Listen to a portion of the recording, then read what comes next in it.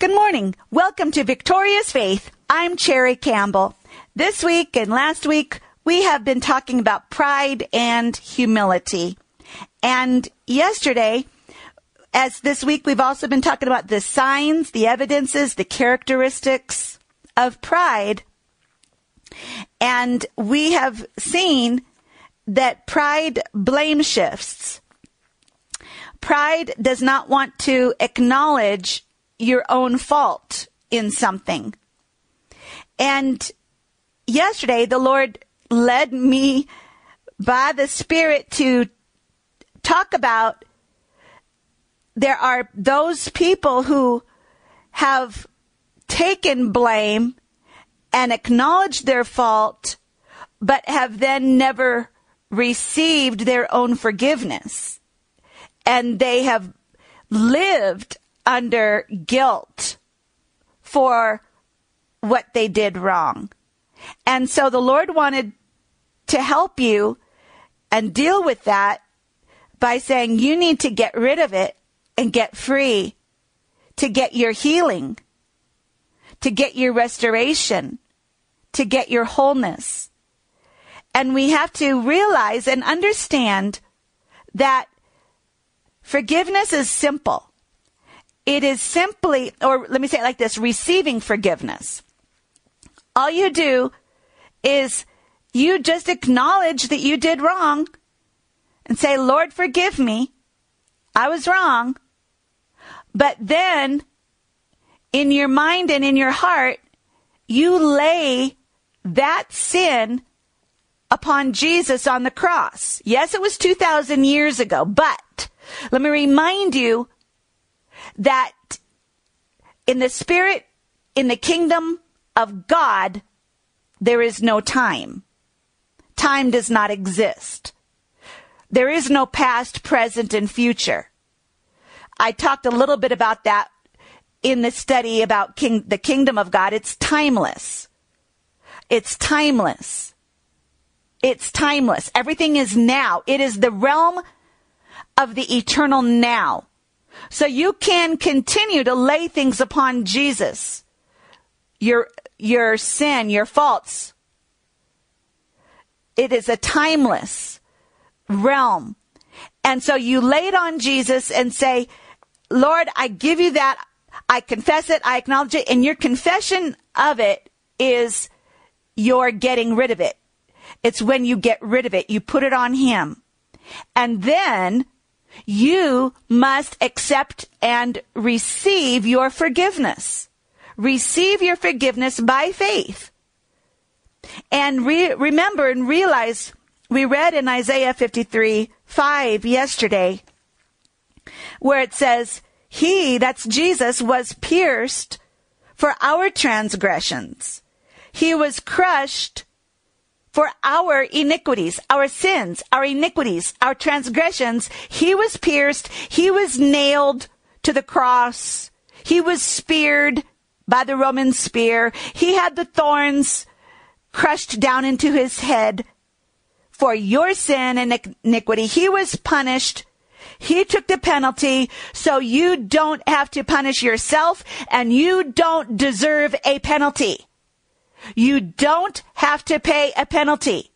Jesus paid the penalty. Hallelujah. He paid the penalty for your sin. Then it says the punishment that brought us peace was upon him. That shalom, Hebrew word shalom means wholeness, W-H-O-L-E, wholeness and it means nothing missing, nothing broken, wholeness in every area of your life, peace, prosperity, health, wholeness. It is all in there. The word shalom is a wholeness word. Wholeness. Nothing is missing. Nothing is broken. Everything is right. Everything is fixed in your spirit, your soul, your body, your mind, your finances, your family, your health. It's all made whole. That is peace. That is shalom. And the punishment that brought us shalom, wholeness, was upon him. he paid the penalty for you to be healed, forgiven, restored, made whole. Hallelujah. And by his wounds or by his stripes, it says we are healed. You can receive your healing because of his wounds for your healing. Hallelujah. Praise God. God wants, God loves you so much. I want you to know that. God loves you. God loves you so much. You're precious in His sight. You're beautiful in His eyes. You're adorable. You're the apple of His eye. You're the gleam of His eye. You are the song in His heart. You are the dance in His step. You are. Yes, you are.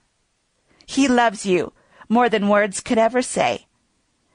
And you need to receive His love and you need to receive His forgiveness. And you need to forgive yourself and let go of all the past. And you need to have faith in the power of the blood of Jesus Christ. And I shared this in a teaching I've done before. If you want to hear more on this, you can go to the study on You Are God's Valentine. It's about His love for you. You can go to the study on righteousness about how you are made righteous in Him. You can go to the study on the power of the blood of Jesus Christ, how the power of that blood cleanses you from all sin and all unrighteousness. And how the Lord said to me one time years ago, when I just, I was having, con- everybody has condemnation until they learn how to get free. You have to learn how to get free. And so I was having condemnation for something and the Lord spoke in my heart and said, Cherri, you have more faith in the power of your sin than you have faith in the power of my blood that cleanses your sin. You have to have faith in the power of the blood. The blood of Jesus that was sinless. The blood of Jesus that was the blood of the Lamb that cleanses you from all unrighteousness. It is so powerful. It is so powerful. And you know, one of the things that helps me sometimes if I'm needing to really feel a cleansing because Condemnation makes you feel dirty and defiled. Sin defiles you, and the condemnation, even after you've been forgiven, makes you continue to feel dirty. So you need to receive the cleansing power, washing in the blood. Remember, you can go back to that study I gave. I don't have all of the scriptures in front of me, but how the, the blood of Jesus will wash you whiter than snow. It, though your sins are like scarlet, they will be whiter than snow. Isaiah 43, 25 says, I am he who blots out your transgressions for my own sake and remembers your sins no more. I blot out your transgressions for my sake. Why? Because your transgression is what separated you from him. So for his sake, he blotted it out to draw you near to him again. And he remembers your sins no more. And if God remembers your sins no more, then you must remember them no more. There is the ability to choose to forget. That is forgiveness. Forgiveness is releasing, wiping out the debt, and forgetting it releasing, releasing, wiping out the debt and forgetting it. And in Isaiah 44, 22, Isaiah 44, 22, I have swept away your offenses like a cloud, your sins like the morning mist. Return to me for I have redeemed you. And also then, this is the one I was quoting in Isaiah 118. Isaiah 118 says, Come now, let us reason together, says the Lord. Though your sins are like scarlet, they shall be as white as snow. Though they are red as crimson, they shall be like wool. They shall be like wool. You know, and I started to say that one of the things that I do when I feel, I know God has forgiven me, but I need to feel clean. This is something that helps me. I start singing about the blood of Jesus. I encourage you to do it. Sing about the blood. You should, I said this in the teaching we gave on the power of the blood. You need to make much of the blood. Sing about the blood, talk about the blood. But something like this I would sing and, and it makes me feel the washing. Oh, it's the, the song of, Oh, the blood of Jesus. Oh, the blood of Jesus. Oh, the blood of Jesus. It washes white as snow. You know, something like that. I'm not trying to be a singer right here, but I had to give you an example. I sing this by myself. I sing a lot by myself.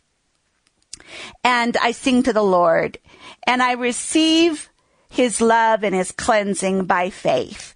And I encourage you to do the same thing. It can help you to feel the embrace of the Lord, the cleansing of the Lord. Hallelujah. And you can also, like I said, sing about his love for you. You know, in our worship, we are always singing about our love for him.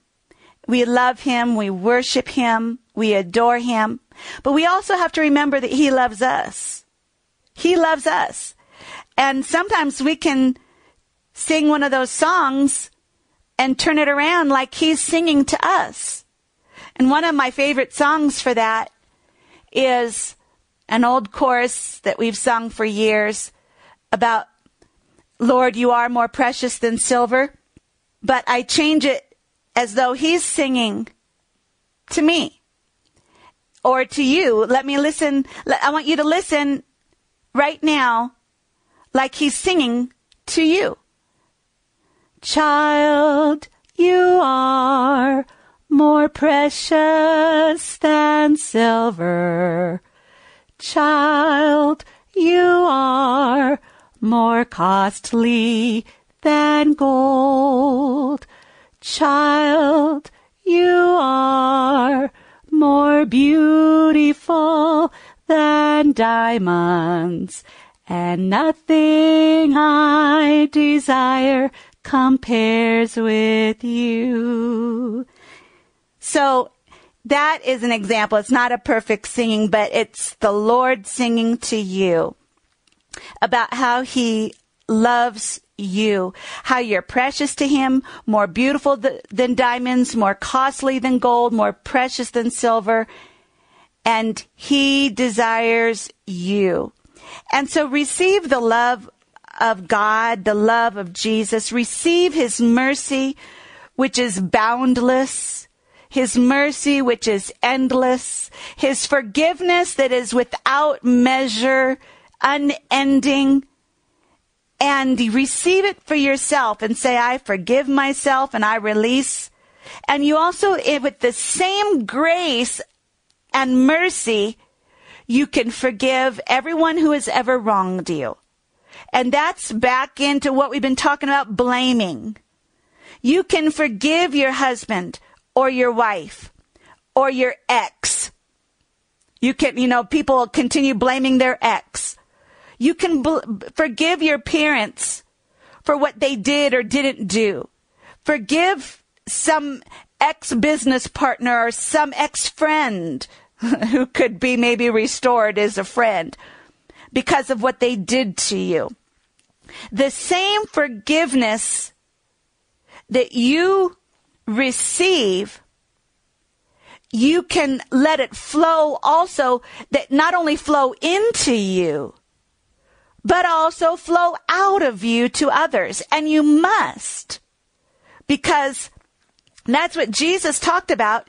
Unless you forgive others, you will not be forgiven. Why? It's because it's the flow of forgiveness. It's like a river of forgiveness. And if you block it or dam the river out of you towards others, you're blocking it toward you at the same time. If you put up a dam to block the flow of forgiveness out of you, the same dam blocks the forgiveness toward you as well. So if you remove the dam and allow the flow, the flow of forgiveness to flow to others, at the same time you can receive that free flow of forgiveness to yourself. You forgive yourself. You forgive your parents. And right now, I just want to encourage you just to say, I forgive everybody. And you can name those that you have felt hurt against. I forgive my parents. I forgive my ex. I forgive my husband or my wife. I forgive my brother or my sister. I forgive that person that used to be my friend, so and so. I forgive that person that I used to work with or work for. You just right now release forgiveness toward everybody. Let the flow, let the river flow let the river flow. Let the forgiveness river flow, flowing toward you and out of you. Toward you, to you, and out from you. Receive forgiveness today and release and give forgiveness today and see your restoration and wholeness. And you say, but Cherri, how does this all have to do with pride? Everything everything. It has all to do with pride. It's pride that blocks our forgiveness toward others. I can't forgive them. They, des- they, they don't deserve forgiveness. They deserve punishment. That's pride. That's pride. Humility forgives. Humility forgives. Pride blame shifts. Pride doesn't, let me, let me go on. Pride doesn't want to accept fault but it also in re, in the other direction, it passes the blame, it passes the fault to others and blaming others, accusing others, saying others are at fault is an attitude of pride. Let me go on to another point in the lesson with some scripture. Finding fault in other people is also pride. Finding fault in other people. So let's call this number three characteristic. Number three characteristic of pride. And it's not that there's a priority, it's just a list. Fault, pride finds fault in other people. And another way to say that is being critical, judgmental, accusing. These are other terms that are all related.